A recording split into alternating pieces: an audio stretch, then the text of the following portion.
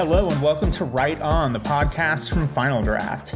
This is the show where we talk about all things screenwriting. I'm your host, Phil Galasso. Today on the pod, we have an interview with Black Widow writer Eric Pearson. In this first solo outing for the Marvel character outside the Avengers movies, we follow Natasha as she confronts her mysterious past. Natasha, my sister. After all this time, what brings you home? I'm on the run. I was trying to do something good. Be more than just a trained killer. You're fooling yourself. We're still both trained killers. We have unfinished business. As we?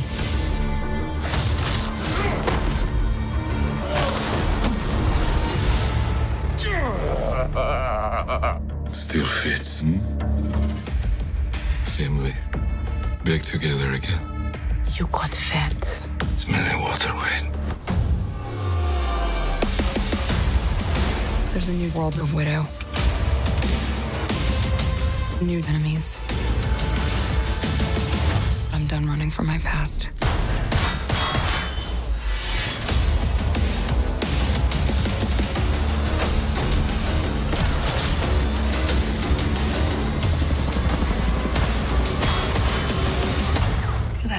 Guy?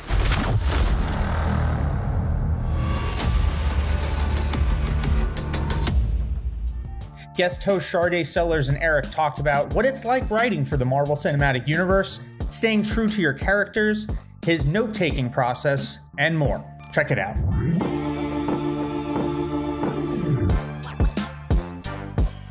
Welcome back to Write On Podcast. I am Sharday Sellers and I'm here with Eric Pearson, the screenwriter Black Widow. Hi, Eric. How are you today? I'm doing very well. Thanks for having me. We are one week today, as we're recording this, after the release of Black Widow. And I just want to get your first impressions about all the feedback. You've been trending on Twitter almost every day since the movie came out.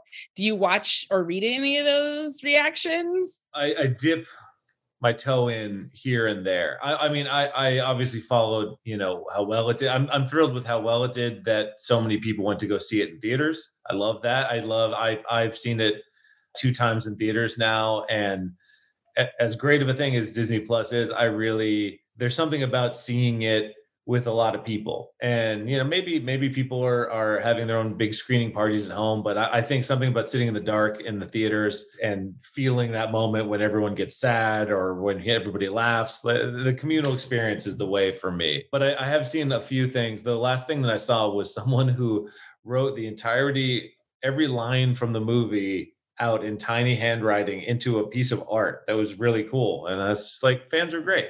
It's really I'm so pleased that someone would like it enough to do that. And that's something that I would look at more. And when people are displeased, I kind of like, well, I wish I wish you could have liked it. You know, I I'm one of those people that actually watched it on Disney Plus because I'm in the island of Kauai and we're filming a horror film down here. And I went on Friday to find a local theater to watch it. And they said, well, all our theaters closed during COVID, which is really sad. So I got to go into my room and turn and turn on my Disney Plus and watch, and it was still really, really great on my iPad.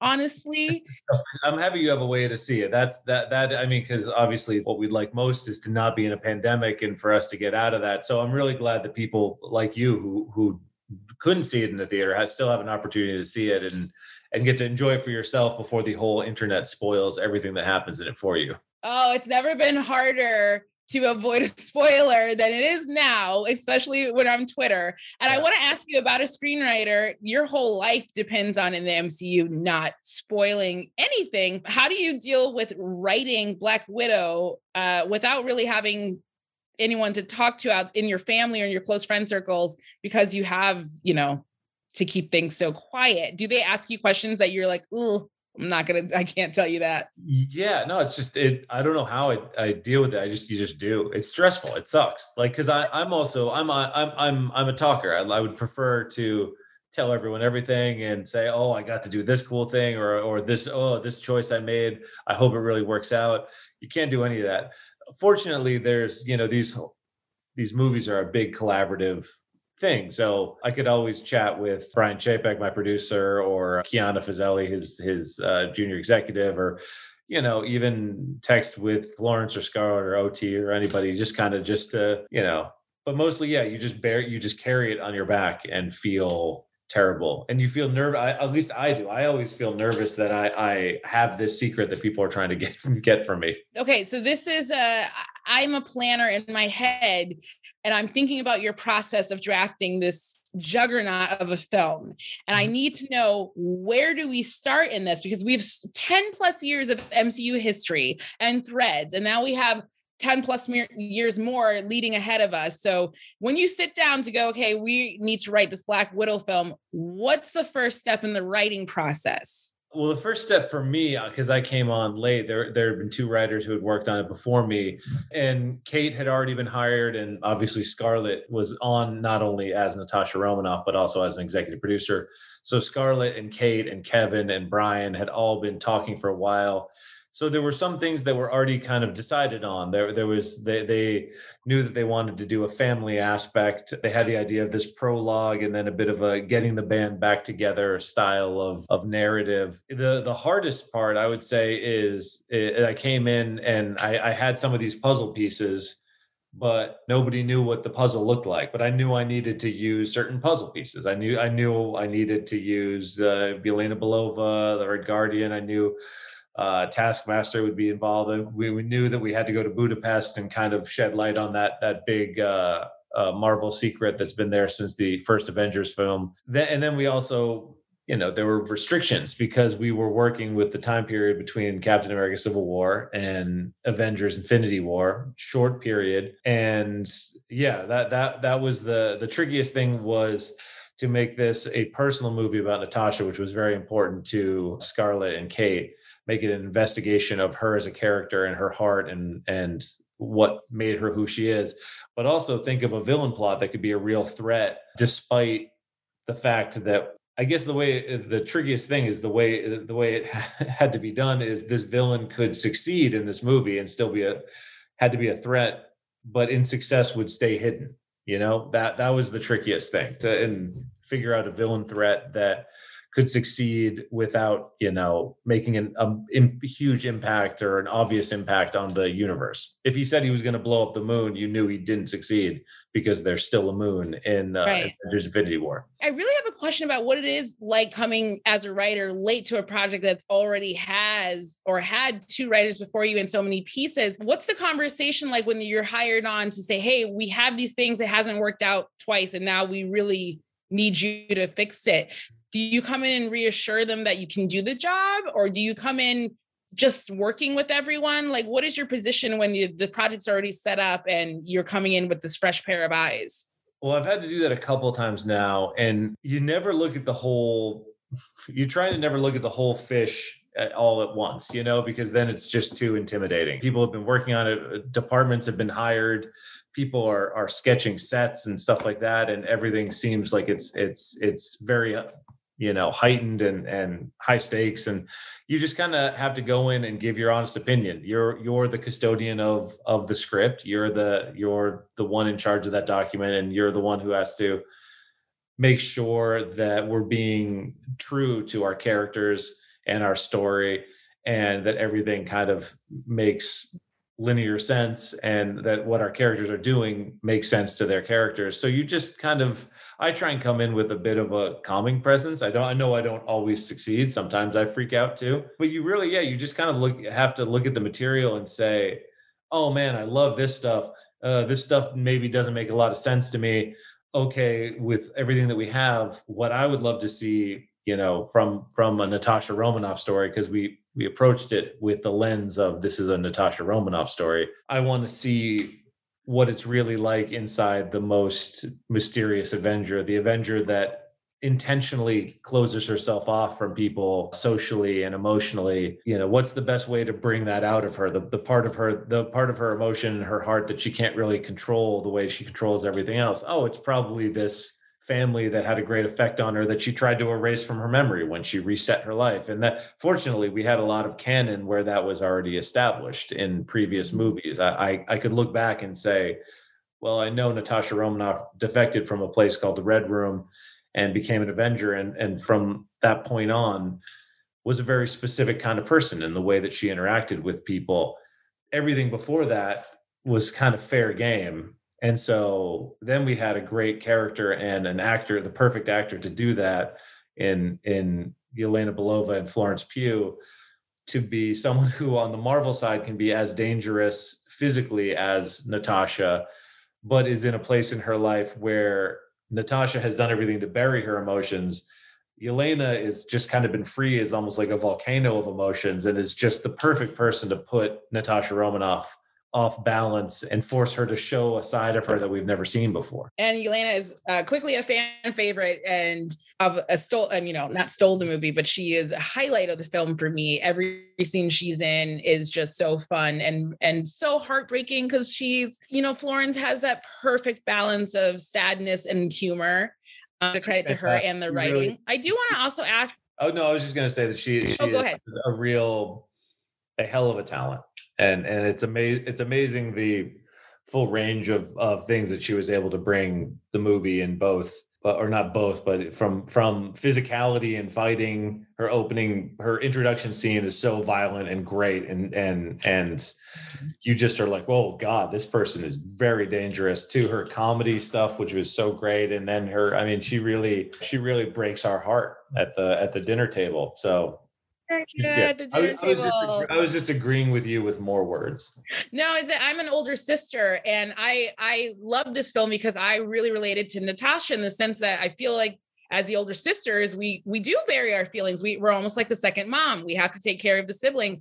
And my sister always got to be the wild and free one. So that scene was so heartbreaking. Did you call because your sister I, the movie? Did you call your sister and talk to her and and you know what's funny? My sister rented the movie and I split it with her so oh, yeah. we could watch together on Disney Plus. See, so it's and she we live in two different cities, so we haven't been able to see a movie together since I don't know we were teenagers almost. So this was a good bonding time for us as oh, sisters oh, to watch yeah so there is a, a, upside to the whole you know watching it on the app thing. You actually get to i get to watch it with my sister and she literally we both laughed at that opening scene when they're playing with each other because that that was us. We grew up in michigan. That that was just our relationship oh man yeah. yeah that's uh, that's i mean and and if you can identify with that too it's you're hooked hopefully. As an audience member i i would hope yeah you want to be able to to let the audience see themselves a little bit uh, and then you know once things start going wrong they they can't detach themselves from anymore because they're already they've already it's part of them is in the character. Yes i want to i want to briefly circle back because i want to know did you do you reach out to the other writers who've had passes to go hey, i saw Jac i saw Jac because at that point Jac was already moving on to wandavision. And i also knew at that point what wandavision was about and i was a huge Nick at Nite kid growing up so i'd watch a lot of the old shows so I was, if anything, I probably wasted too much of her time asking her what was going on with her thing, and I was, I was so excited about it. But yeah, so I, I was able to speak to her about it and kind of get her impression, and and she was always very supportive and and you know we we really we put our heart into these things in a way that you you never really expect. Even I've done a couple weeks on movies here and there just as like a, a, patch up job on things where I'm never credited and it's not it's, that's not the point of it. I'm just there to kind of fix something. But once you start writing people saying things and and and you get a favorite joke in there or even just a little thing, you really invest. I think a good writer invests more than they ever want to. So uh, she was very supportive and and was was you know emotionally invested and wanted us to succeed. So that was very kind of her. She's been on the show. She was such a pleasure. We've and now she has like 65 Emmy nominations too. Yeah, I know. good for her. I'm glad so, I got to talk to her before she now she's unattainable. It's not going to happen ever again. oh, I'm sure that she would talk to you again. She's she's uh, I I let's wish her luck and you know go Marvel at the Emmys. I yes, I I'm hoping they sweep. I'm ready. I I have a question about these action sequences because my jaw was dropped, especially at that that third act action sequence. I'm not going to spoil it for people in case they haven't seen it. Wow, though, that's a lot. Can you tell me what your hand is, was in preparing for that final battle sequence? Was it already there when you got there? Did it need refining? Where was it when you approached it? We knew that we were going to be kind of in the red room at the end and the idea had been floated already pun unavoidable that there, there would be this this fortress in the sky. Uh, because there is a panel uh, and a se- there's a specifically a panel and a sequence from a, a black widow comic where she smashes through a window and you're and she's falling in a free fall in the middle of the sky and we we liked that. For me that was the whole third act was like it just scrambled my brain because it was that that was the that was by far the most difficult thing to do just from a logistics point because at that point we had a certain number of heroes that were in in three different places with a certain you know a, we kind of had a brain villain and a, and then like a group of brawn villains and then another kind of special brawn villain and everyone had different tasks and also not everyone knew what was going on at every moment.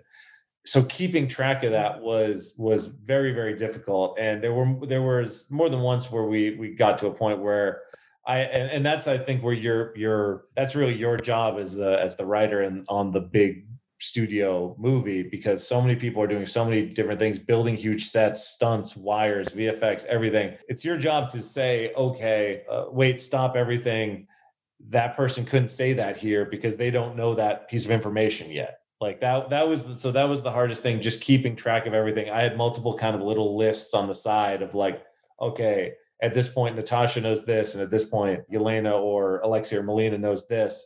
So I, I got to wait till here until I can do this plot point because otherwise they wouldn't know that that's their objective. So that was yeah that that was well, a, that was a real headache. Well, I want to know as a planner, are you note carding? How is your mind map working to keep order as you're drafting? just uh, frantically, I guess, because this one, uh, I mean, I think with this one especially, we were like in production at this point. So it was just kind of on, you know, I, I had an idea that made sense to me, but then maybe an actor has a note or something like that, and and a pin gets pulled, and you've got to readjust. So and then you know, uh, in in reshoots we had to do a little bit of connective tissue here and there. You just kind of, I don't know, you just have, I have, I've always had a good memory for knowing what's going on in my mm-hmm. stories, uh, in the, in the scripts. I, I believe that on this one, there was a point where someone said something about a sequence and the script at that point was probably 130, 135 pages. They said something about a specific thing. I said, and they're like, yeah, it's, it's, it's this thing. I was like, I, um, that's probably seven page 77. And I, it was a guess, but I was right. Like I knew exactly where this random thing that they mentioned was. So I've always had a good mind of keeping track of what is going on. This was the first this third act was the first one to really strain really strain me and make it very, very difficult where I had to just I did it as lists. I know a lot of people do note cards or whiteboards, but for me, it was just lists in the margins of I, I like working with paper too. Something about being able to flip to paper makes me feel better, feel more in kind of control of it. So that's, you know, I'll just have notes in the margin all the time. I'm like you. I like a good paper. One question I want to ask before I get to our final question. And sure. because I'm listening to you and I'm just amazed because you're telling me they're building sets and they're in production. So when did you actually wrap as the writer? What point of production were you actually like, okay, we're, we're done here? Never.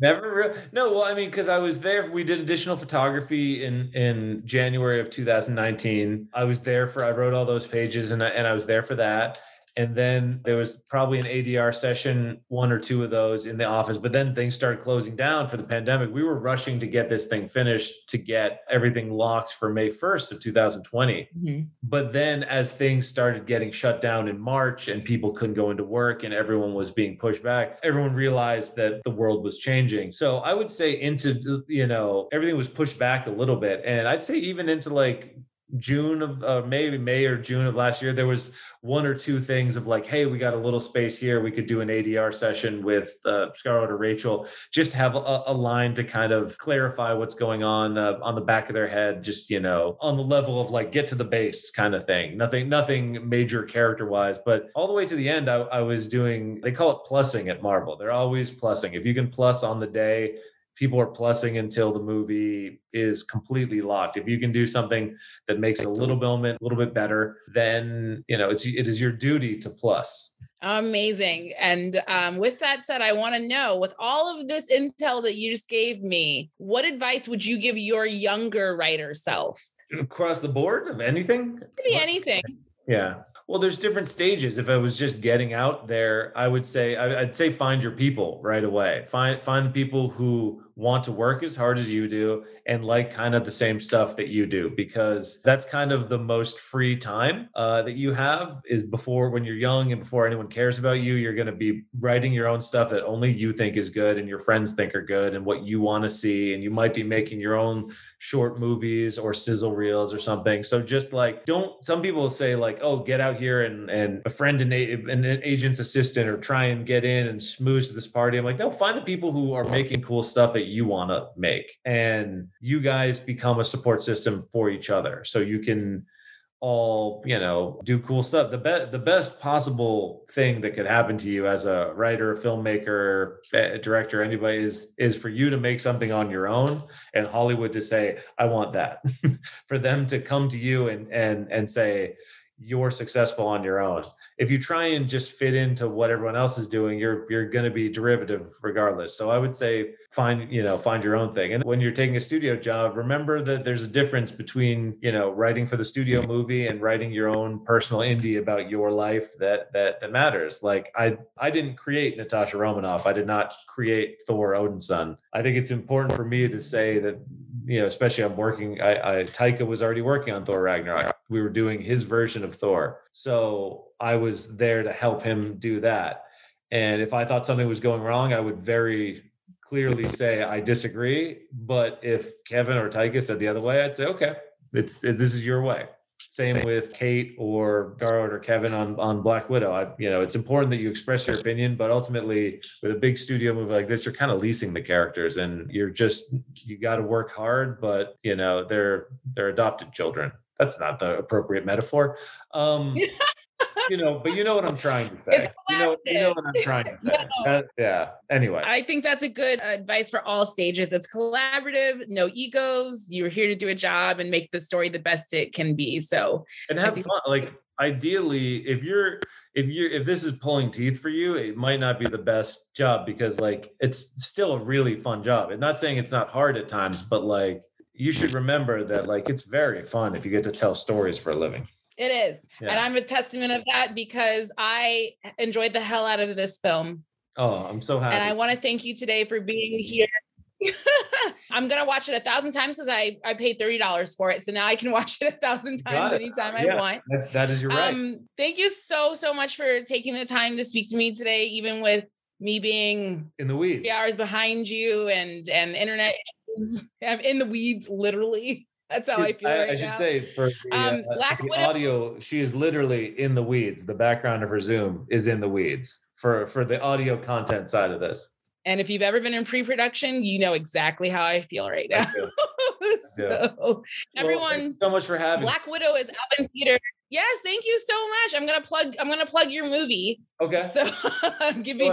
Don't let me stop. You. Here we go. Black Widow is now in theaters and available on Disney Plus for premium access. It is great. It is touching. It's poignant. It's a perfect send off for Natasha. Please watch it. Eric, can't wait to have you back. Much continued success to you. I'm a huge fan of your work. We didn't even get to talk about Ragnarok because we would be here forever. But I can't wait to talk again, and I hope you have a really great day. Thanks so much. I can't wait to come back, and hopefully it'll be soon. Thanks to Eric Pearson for coming on the show, and as always, thanks to Sade Sellers for killing it as host. Black Widow is in theaters right now. And as always, thanks to you, our listeners. If you liked this episode, leave us a review, and if you haven't already, subscribe on Apple, Spotify, Stitcher, or wherever you get your podcasts. For news about future episodes and more, like us on Facebook, follow us on Twitter at Final Draft Inc. and Instagram at Final Draft Screenwriting. This episode was produced by Kayla Guess with help from associate producer Emma Vranich. Music by T. Kelly. Thanks again, everyone. Until next time, right on.